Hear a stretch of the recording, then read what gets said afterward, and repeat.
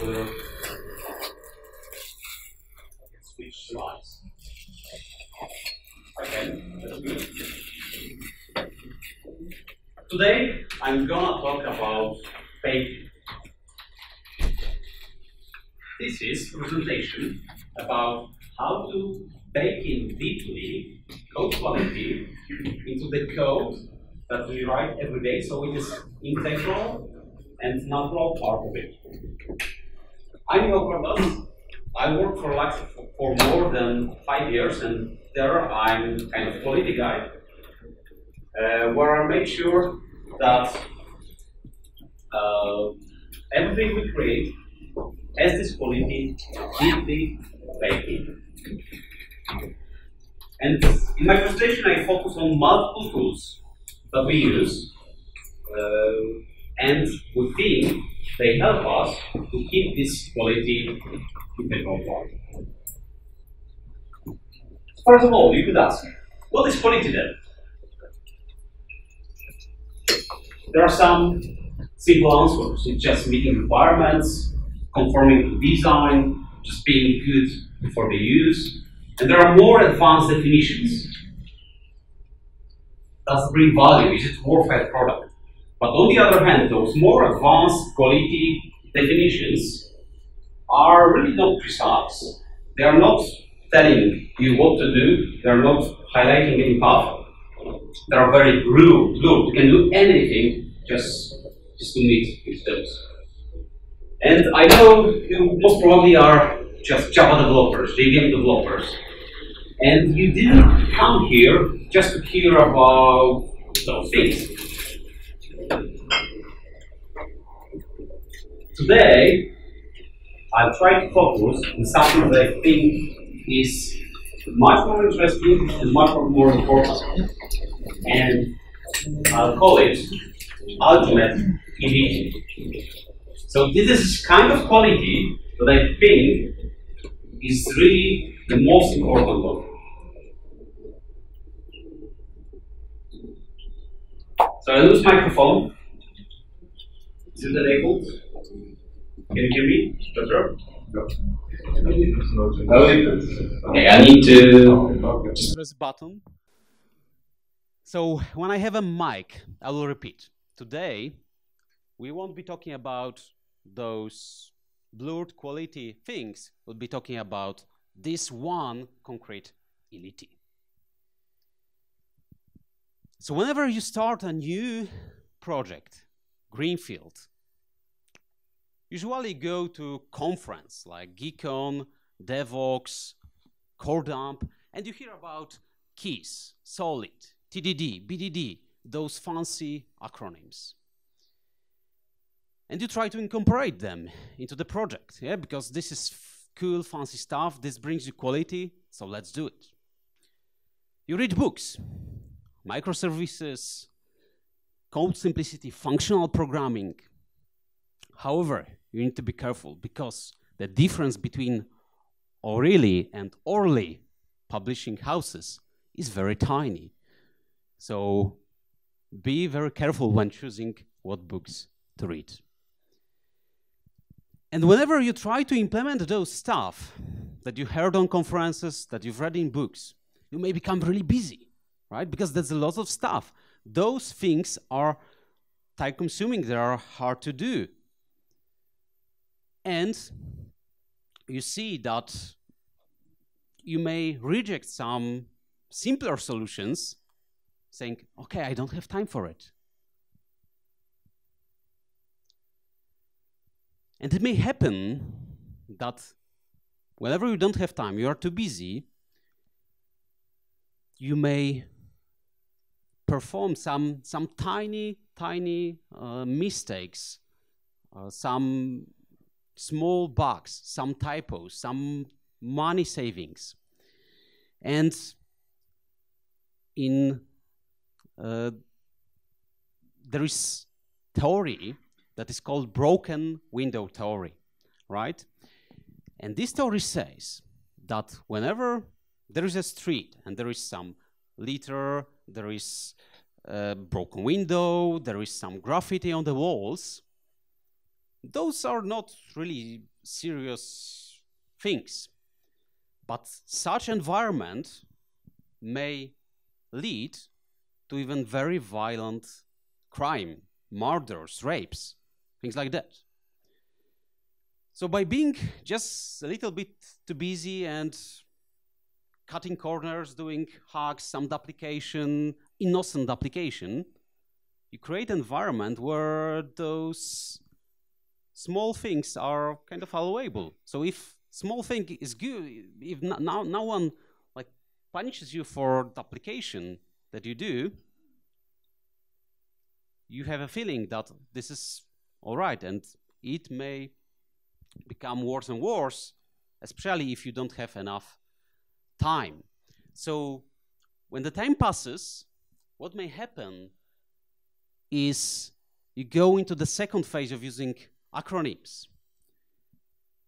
But then there are others like SDD, spaghetti driven design. There is Control C, Control V, the application, WTH, WTF. Also FUBAR, TARFU, SNAFU, which means totally and royally freaked up, situation normal, all filled up. So I met it a couple of times as the commands in the code. So from those push projects, I learned those acronyms, and it means that this elite is really low at this place. About 80% of software projects is considered as not successful, whatever it means. Th those are the services that are performed.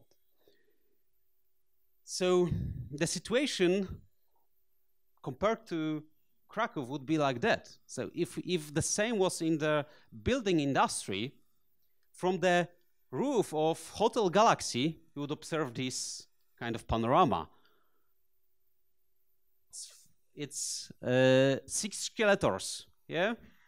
All not finished, and only one Błękitek that, that is standing, but everything is failed. And indeed, productivity can reach zero whenever we spend time fixing the stuff that should never be broken.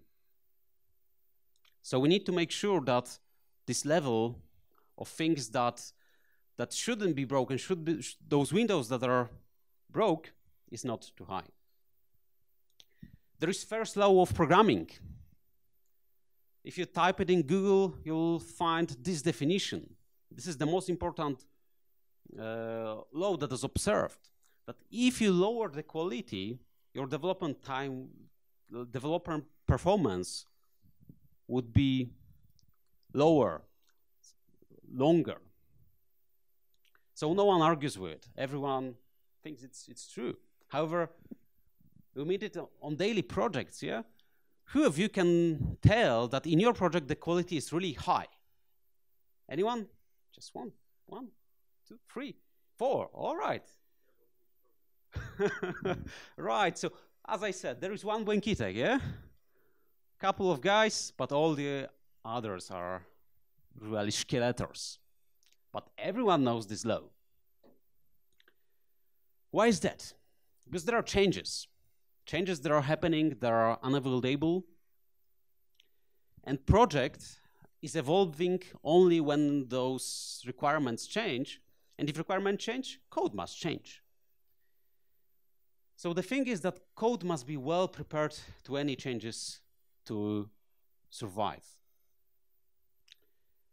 So if you care about the, the quality, then the changes may become either at, at the same level or a bit easier, and velocity could stay as it is or grow slightly. But when we don't care about the code quality, situation can be only worse. Depends, could be just, just slightly worse from over the time or could drop rapidly so that no more changes are possible. And Uncle Bob says, the higher the quality, the faster you go. The only way to go fast is to go well. All right, enough of that. Now I spoke about what needs to be done. You know that quality must be high, that's not negotiable, but how to do it? One way is to use fear, right?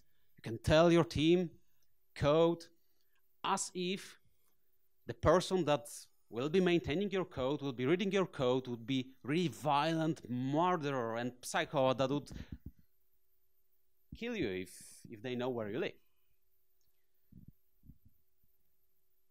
All right. So we can do it, and even sometimes I see the code that is bad. Yeah, in my repository, I see who wrote that. What the hell is that? And then I check the author, and I see it's me, right? Me two years ago. Oh my gosh. And I know my address. I know where I live. What should I do now? So, doesn't matter if it's just your professionalism that is making you to write good quality code, or it's just a fear for oh, the thing that we need to do is to code for future ourselves at least. We all like Venkat, and he also says about quality that it is inversely proportional to the effort that it takes to understand the code. So the easier the code is to understand, the higher the quality. So we see that readability is a must. How to measure it? Do you know any ways? Exactly, it's number of WTFs. That's very common unit in our industry. So if the code is great, if you, if it's almost ideal, usually you'll hear just a couple of swears, yeah, here and there, nothing serious, just as they as usual, right? But but the, when the code is bad, there is much more of them happening. Do you think it's something something bad? That's something that you should worry about if someone says, "What the shit you wrote? What's that?" I think we should worry and close ourselves and uh, do not write any code anymore. Actually, you know, the, the point of review is to be harsh, to be really sharp. And I see it on my example. My, my main experience connected with QA, with quality. And whenever I need to write a code, I know it will be a crap. When I write the code, I see lots of WTFs. What you did, guy? You so experienced QA that you know everything about code quality and you scream on us when we give you a code, you cannot write anything. Yes. That's how it works. That's human nature. That to create readable code, natural process is to just, just do anything. Do not spend too much time. Propose, review, and discuss with others what is not readable. The only limitation during code review is to be professional. And whenever uh, I wrote the code and I give my code to review for hours, I review our, their code. And at the end of the day, everyone codes is better and everyone could read it uh, within the team. So what do we do on code review? For sure, we should focus on things like hidden bugs, design, is it good for purpose? As I said, reading experience is so important. So if you see that you read it once and you don't understand it, don't limit yourself. Just said, I cannot understand it, please fix it. That's, that's the point of code review. You may try to find something positive.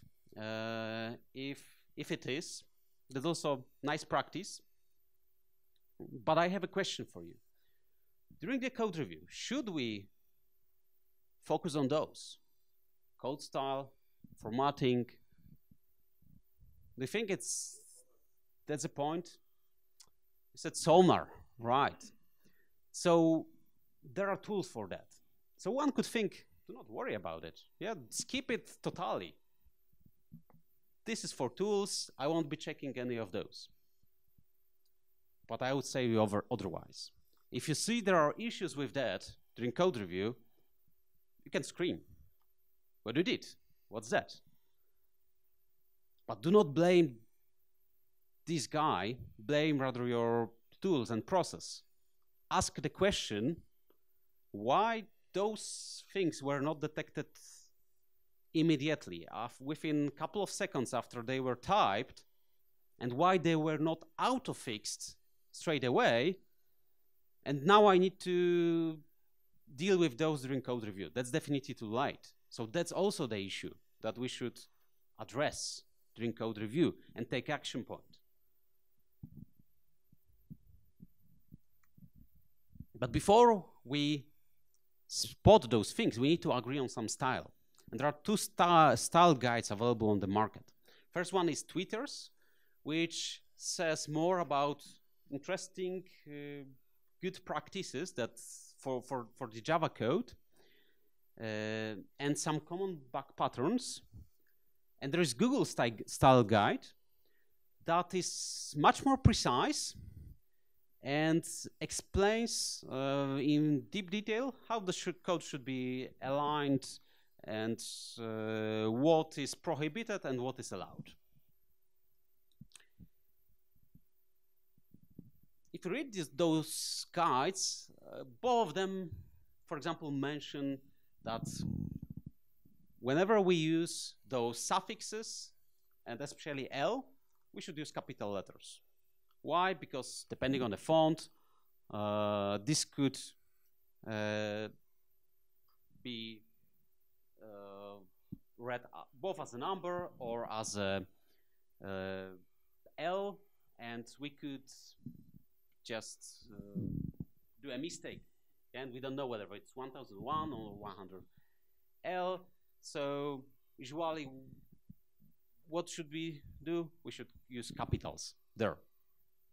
And again, whenever something like that is visible on code review, that's definitely too late.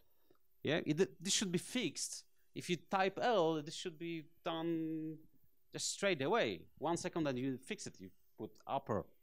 So there is, for example, inspection in style that is called L that would highlight your those. Also IntelliJ warns you about them. So you can use those tools to not let such things happening. Google Style Guide, for example, defines what is camel case. You could think, camel case? I know what is camel case. As a Java developer, I can read camel case faster than normal uh, sentences because I'm so accustomed to it. Yeah, even if uh, Mr. Tadeusz was written in camel case, I could read it with uh, pleasure and very fast. I know what is camel case exactly. But there are some corner cases in camel case. Let's see it on IPv6 example. What is the correct form? If there is a field name. For sure, uh, the first letter should be uh, lowercase because it's field, but on the other hand, it's ac acronym. So what, what's the correct form? Without strict definition, it's, it's hard to say. Similarly with iOS, if this class class name, should I put I to uppercase or what should I do? To define it and to, to make the decision, it's better to see it on those examples. If we have class like XMLID writer or HTTPS XMLDB connection, what do you think is more readable? This one or this one? Second one is immediately more readable, yeah, because this all blends into the one word. So we see that generally whenever we have acronyms in names, what we do is we just capitalize the first letter and treat everything else lowercase. So we use them as, as normal words. And if we choose that definition of camel case, then all it becomes easy there is just, just one way of doing things. So if we have class iOS, it should be like that. Here it should be like that. So we lowercase everything else. Same with ID. Then I is capital, D is lowercase, and for example, this could be automated and, uh, and check with Checkstyle, abbreviation as word in name, and camel case becomes just easy and readable. I'm talking about this because I've seen so many different forms of camel case in my projects. Um, and it could lead sometimes to bugs that we have, that there was two classes named in the same way, but in different camel case style um, and they were conflicting with each other on Windows, but on Linux not. Now, one more example from my code base we discovered recently. So what happened? Uh, we had a JVM with application running, and it became really, really slow. We couldn't connect with it with any VisualVM. We couldn't take heap dump uh, thread dump, anything, but JVM was running. Using some tools, we found that it is just native memory that is occupied in gigabytes, and swap is fully taken. So everything is running on the swap, that's why it is so slow and we couldn't do anything. Garbage collection is, is running all the time. So after uh, few attempts, we, we managed to connect with one tool that, that uh, is just looking for resource leaks. And this tool led us to, to find this piece of code. This code was unnoticed by any static analysis rules that, that, we, that we had. Uh, probably you see the issue now, right? What happens here? There is a loop. There are several streams created. There is some native memory file handle allocated, but only one of them is closed. All the others remain uh, open and, and they are they are put on, on, on memory, right? So then we checked the configuration of the tools that we had, and we see uh, PMD was latest version, Spotbugs was latest, everything fine. Mm, during code review, no one spotted it. And we entered the IntelliJ IDEA config because we got why it was not detected by this tool. So obvious mistake, right? And we checked the default IDEA settings, and it appears that there is rule for that. If we enable it, it says it should be closed this resource should be closed. But for some reason, it is not enabled by default. I don't know why it is not. And after some investigation, we, we found that there are 100 more rules that are available in IDEA. They are not enabled, but they could spot issues like that that could save us from serious trouble. So on Wednesday, please go to this menu to inspections, enable all of those for our code because they are so useful. A while ago, I mentioned SpotBugs, right? But probably most of you uh, know rather Findbugs. This is this is the tool that we used a uh, long time ago, and it is it has some good reputation in the industry. But something bad happened with this product. Uh, there, is, there was one maintainer of Findbugs, and about two years ago, he just disappeared. He lost interest to the project. People started to worry. He was just not responding to any messages, any emails. And he had uh, the administrator right over the, the repository. So, unfortunately, this product became, became dead because of bus factor. He was the only developer. We don't know what happened with this guy. Probably it was not the buzz, but this is the analogy that we use in our industry. Yeah. So what happens if this only developer was hit by a bus mm, and project couldn't continue. And we have example of it in the static analysis tools. This is the way how our management would understand this story. Yeah. Let, do not let it happen. So maximize number of people who could get hit by a bus and nothing happens. Right? So they hire, for example, architect, manager, QA manager, analyst, process champion, right? If they get hit by a bus, nothing happens. Yeah, project continues. Really, is this the idea of bus factor? That the previous definition was wrong. Yeah, do not understand bus factor like that. Bus factors is a minimum number of developers who would need to be hit by a bus. So that the project is, is in a disarray. So this is minimum number of developers that are crucial to the project. So it's it could be you, most probably, that you you are uh, hiding some knowledge from the others. You, your code is not readable, not reviewed enough by by the others, and you are this this guy who, if disappear, the project cannot continue, right? So ha have that in mind. Do not let it happen. That's why those sharing practices are so important here. Do not let Findbugs history repeat again.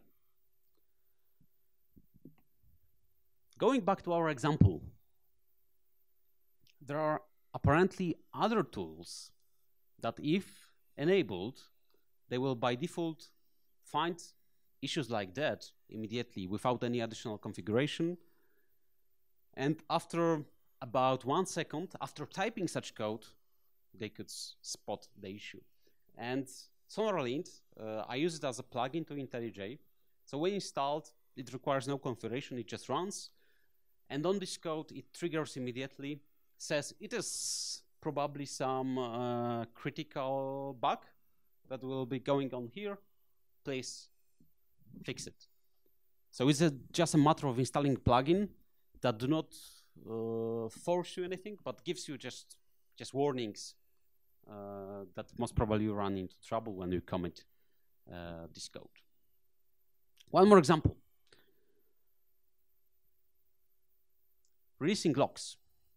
So in my application, from time to time, we run into issues that mm, there is a deadlock. There are so many locks taken, they are not unlocked, and we now don't know uh, what is happening. And one of example of such uh, such bug is, for example, conditional unlock. So we lock always, but not always for some special paths, like exception or like if, uh, we, we do unlock, but for the others, not. So the interesting thing is that this code is obviously buggy, right? It shouldn't happen. But there are, again, not so many tools that could inform you immediately that it is wrong. Well, it should be detected in one second after typing. Mm.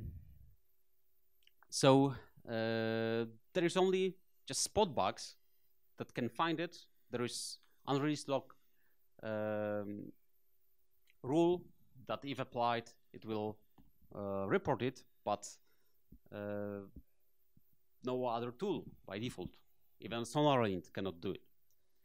Again, it appears that IntelliJ has inspection for it. It will warn you, but it is not enabled by default. So if enabled, it, it can stop it. One more thing that is uh, said by Twitter style guide is to use uh, unit variable names. Simple thing, but so many times I've seen uh, things like poll interval variable in the code, int file size. That, that's just everywhere. People code like that. And the simple, simple advice they give is just to put unit into the name, even shortcut. And immediately the code becomes clearer. Yeah, If we put ms, gb, we know what is going on. We don't need to analyze uh, some documentation or some couple of classes before calling uh, and assigning this field to understand what is going on.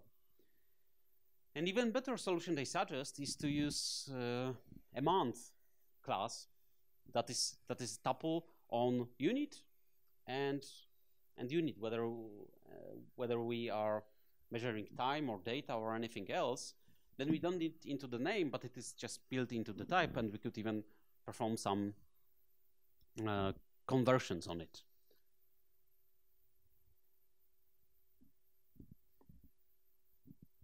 Twitter also reminds us to be professional. So during code review, we must be professional, but also in the code, right? So very often I get personally angry on checked exceptions in Java, right? So you have what's probably the same. Why they force us always to handle this IO exception? We know that every code, any code can throw exception. Yeah, what's the point of highlighting this one exception specifically, right? So you could just blame the authors, uh, just wish them to burn in hell in the comments. Just your angriness, put your angriness in the code, and I've seen similar examples that that people do things like that. And what and what they do is that that they just by this losing this professionalism they they pollute uh, the code they destruct but they, they they don't see that actually those check exceptions at least sometimes they could be leveraged. So my approach to those is rather that. Okay i know this is the design mistake in java. There should not be checked exceptions, but whenever they are, what I try is to give more context, at least to, to improve situation a little bit. So instead of swearing, I try to put context because this IO exception usually doesn't tell what exactly went wrong, what file was read. This is so bad uh, design and so bad exception handling that it says file could not be read, but we don't know which file. So though in this example, check exception could be used just, just to provide this additional contextual information, then we could wrap it with any other exception that we want, and we, we are done. No need to, to get, get angry, at least on those. As I said, Google Java style has advantage of being very precise. It means that things written there could be automated. So we don't need to read it and apply manually. There are tools like Google Java Format plugin for IntelliJ, or there is XML file in Google Style Guide repository that you could attach to your config. And that's the only moment when you need to think about style. You just install this plugin, it is not configurable, it just runs for you. So every code you write, it gets reformatted according to all the rules they mention there, or almost all. If only this could be uh, performed automatically. So, uh, nice, nice things to use if you agree exactly to this code style. However, my team uh, uses our own code style, be different from Google style. So we have our set of tools. But if you are starting and you like this style, you can apply it and, and go on. There is another tool from Google that actually we found really useful. It is called Error Prone. Do you know it? Do you use it? Not yet. So great that you are here, because that's that's interesting approach to the static analysis. So probably you know those tools like Checkstyle that runs mm, a separate phase. You need to attach it to Maven or Gradle. You get some report, and then, then you need to fix it. Right? This tool, however, chooses chooses approach just to integrate into compiler. So we say that this code compiles as Java or not if it has some issues. So it's kind of extension of concept of warnings in the compiler. yeah, to, to, to detect them faster. Because usually what you do if you code is you always need to compile. So one why to run some additional phase if you can just perform those checks within the compilation using the same uh, trees in the memory, ASTs, so that you don't spend additional time on, on these analyses. One more advantage of this tool is that for, for many cases it prints fixes that exactly what how this issue should be fixed. And this is a quiz for you. Do you see any issues within this code? All right, you were fast. What's wrong?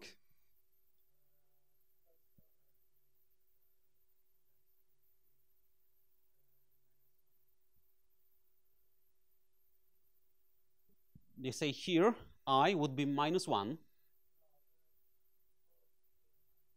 Fourth line, okay.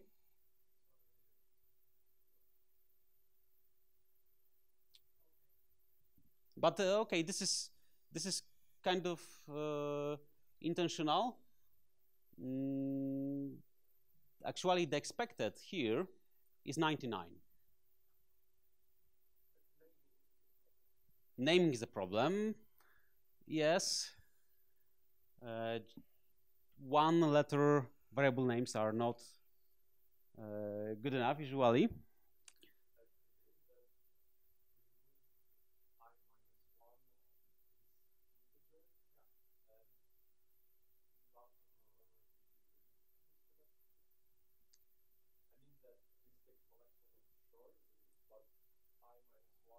Yes. Exactly. Exactly. So we are all here Java developers, but this is the quirk of Java that we don't see uh, or even don't know at all about its existence. That's so strange, I promise you. So whenever uh, we have short variable, we can add it to set. Yeah, so there is item in the set that is uh, short, but any calculation performed on the short number gives, gives integer. That's how Java is designed. So we cannot perform maths at all on short numbers. Even if it's addition or subtraction on small numbers, here would be 0 minus 1, should be minus 1 short, yes? Why not? But Java is designed in the way that it gives you minus 1 in int. Uh, and it tries to remove integer object from this set uh, while here we add uh, short. So after running, it will print size of 100. but if this if this code is corrected, and actually it's not easy to correct it because we cannot cast just one to short. We need to cast result of this subtraction to short, and only then it would print size one which, which probably was intended by, by developer here. And error prone can spot issues like that. During compilation phase, Java compiler cannot do it, obviously. It, this code for Java is fine, fully fine, no warning at all. Error prone says that there is collection incompatible type. Um, it won't remove anything. You can read more about on this web page and this could save you from serious trouble. There is one more interesting tool that we found recently uh, that can help us to deal with those more minor issues. So the previous one was serious, but as I said on this broken window theory slide, even small things can make your code district to look worse and to uh, allow more serious crimes in the code. Yeah, so we should care also about minors, some formatting, so some style, just to improve readability. But I think here that spending time on it is pointless. Yeah, uh, discussing it on reviews pointless, waste of time. So the only reasonable thing to, to deal with formatting is to just cut those discussion. Do not do it manually at all. Just let machine do it all the time, right? So these tools is a plugin to Gradle that, if applied, it analyzes all the, the files um, and it just compares the actual uh, file contents with the expected contents after applying some formatters. If it's uh, not all right, not according to, if it's not ma matching with the formatted one, it says there is a problem and it can automatically fix it. You just run spotless apply and all the issues are fixed. You just commit and, and continue. Right, so this is a piece of configuration uh, that, that you can use. So there are some formatting that could be applied to any file, uh, some markdown even, Gradle, whatever it can. It just says about indentation, tabs versus spaces war, some white trailing white spaces, and ending with new lines. But it also has some more advanced configs for uh, Kotlin formatter, Scala, Groovy, Java, also other non-JVM languages. Uh, if configured, it will say you whenever its code is not formatted properly, and it will fix it for you uh, with just running one command. There is one more thing that actually there should be no need to fix those things at all. They should be written correctly from the very beginning. So if you agree, let's say, to use spaces in uh, your projects instead of tabs, you should never spend a minute on changing it, right? Because that's that's so obvious that it should be done that way. Uh, why to distract by stuff like that? So the thing we have is that in every repository we put editor config file. It's it's a standard that many um, editors applied without any plugins. So those tools can understand such file and reconfigure themselves so that uh, those formatting options are used. So some char set that should be UTF, space indentation, for example, indentation size, find a new line, trailing white space, you just usually you configure it like that exactly, put that file to repo, and you don't need to worry about this stuff at all all your projects, all your developers in all your teams will be reconfigured automatically to this, and you can cut this problem at all forever.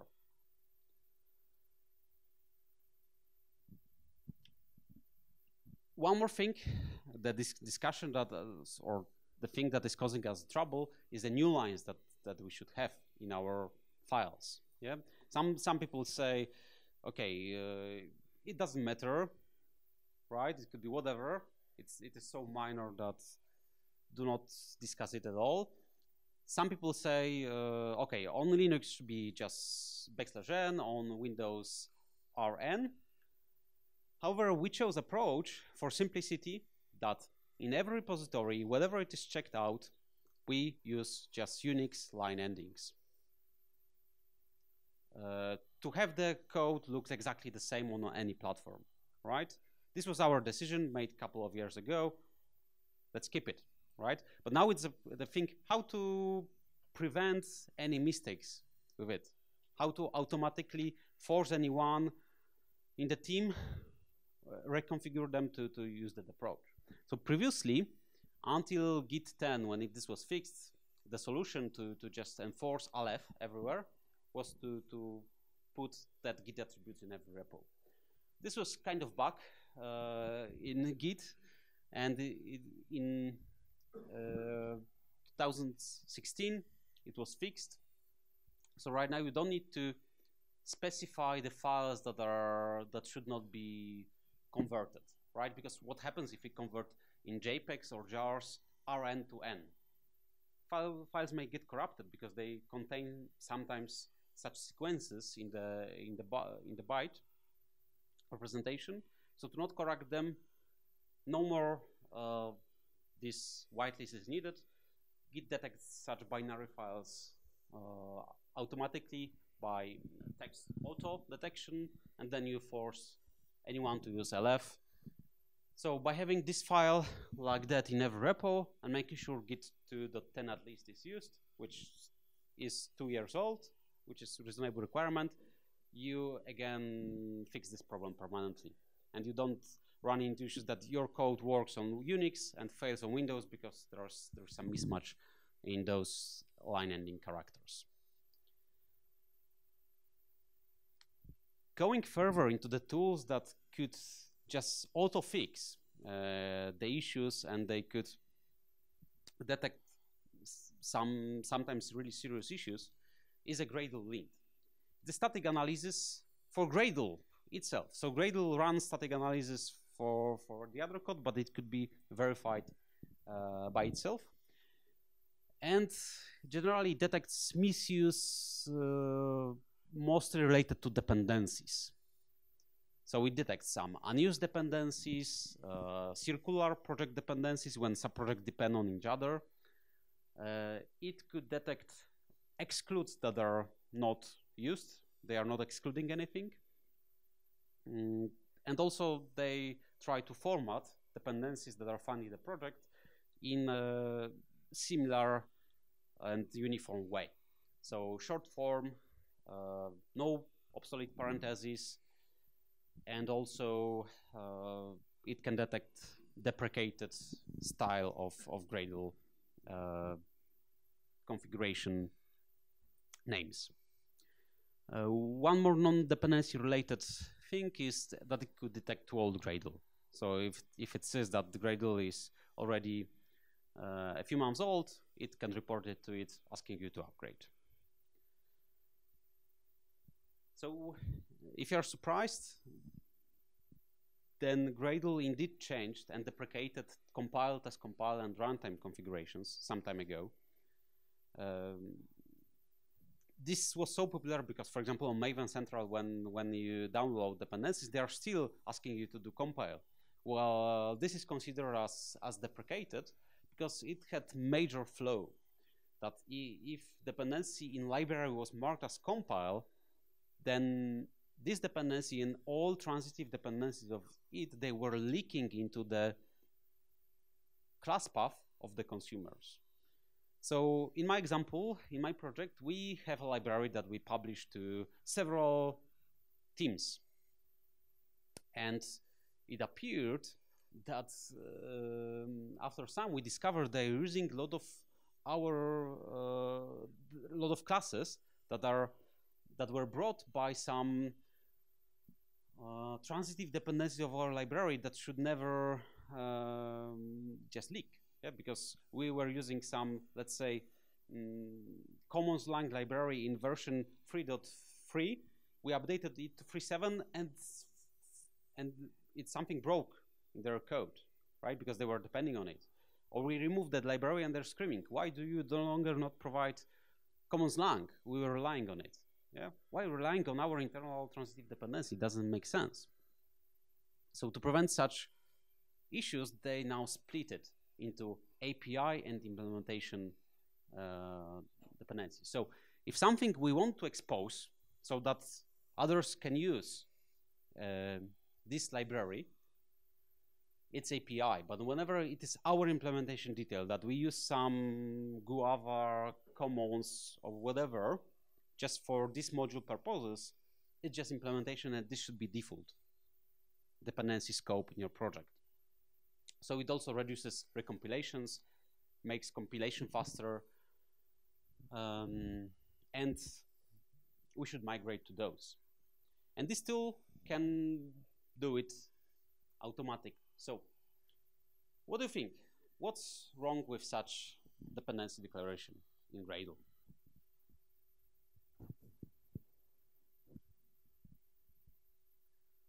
So for sure there is some exclude that is um, unused because Guava doesn't plan on those.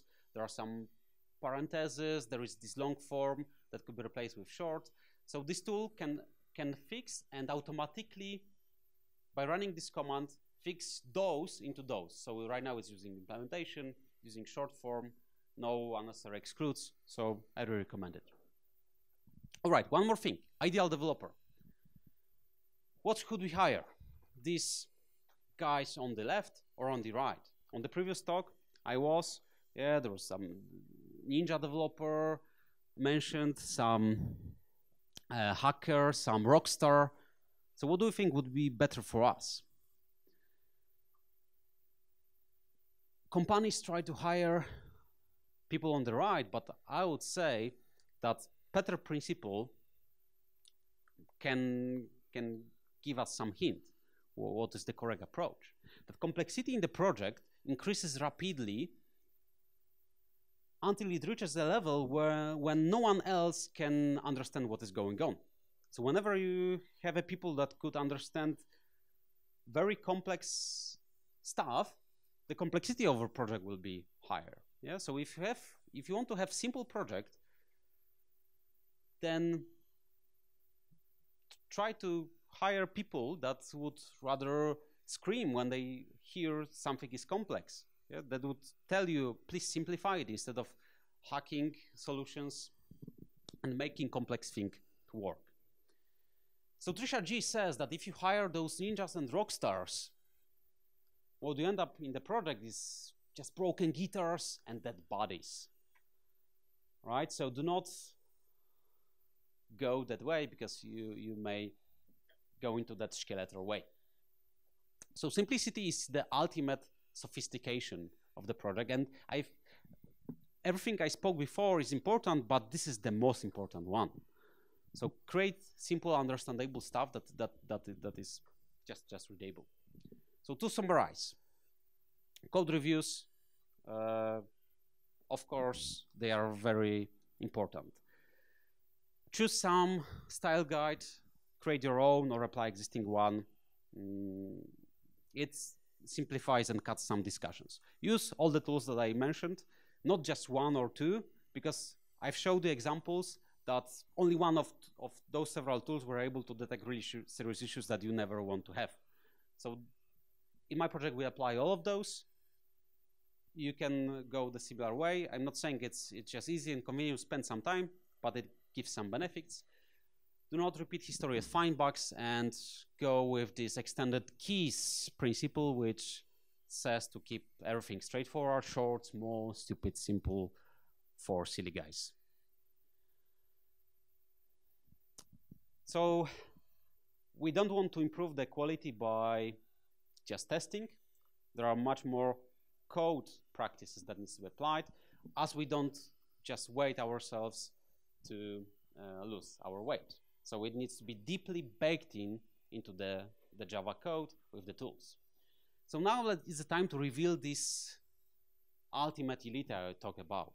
So there are many those low-level practices that needs to be applied that convert into higher level qualities of the code, like analyzability, modifiability, testability, reusability, modularity, that we need to apply and my presentation only was about tiny fraction of those. This topic is really broad, but they all boil down into maintainability. So this is the thing that which we should focus on while developing. Do all the stuff so it is maintainable in the future for future us. So thank you very much for being with me, and I wish you greenfield projects like that. Thank you.